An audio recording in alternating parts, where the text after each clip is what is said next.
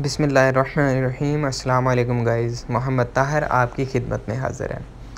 सबसे पहले तो मैं आप सबका शुक्रगुज़ार हूँ कि आप लोगों ने थोड़ा सा टाइम निकाला मेरी वीडियो को देखने के लिए और सुनने के लिए। तो इन मैं आप लोगों का टाइम वेस्ट नहीं करूँगा। कुछ ना कुछ आपको सीखने को मिलेगा। तो चलें, शुरू करते हैं। सबसे पहले अगर हमने किसी से पैसों का लेन देन करना है तो लेन देन करते वक्त हमने उसे इंग्लिश में कैसे बोलना है, कैसे प्रोनाउंस करना है, यहाँ से स्टार्ट करते हैं। तो सबसे पहले, बकाया कितना रहा? How much is the balance how much is the balance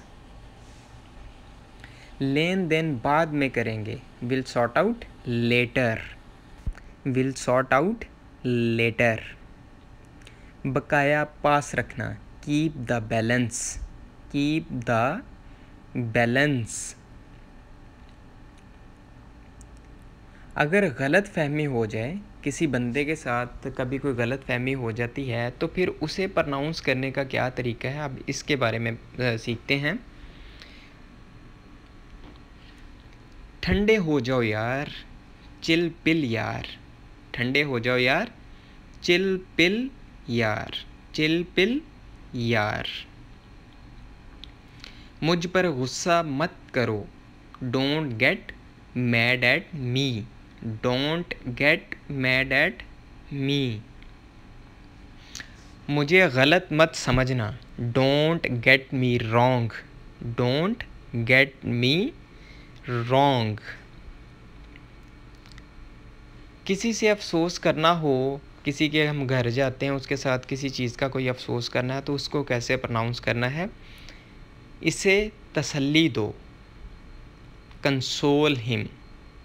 इसे तसल्ली दो, console him.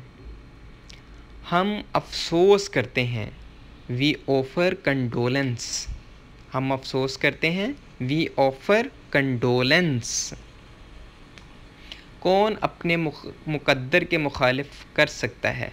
Who can fight against his faith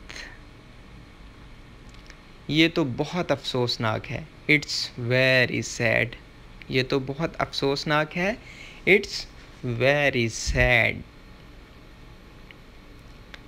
हमें शदीद दुख पहुँचा। We are deeply grieved we are deeply grieved I am thankful to all my brothers and sisters who come here. जिन्होंने थोड़ा सा टाइम दिया मुझे इस वीडियो को। Thank you so much Allah हाफिज़, अपना ख्याल रखिए।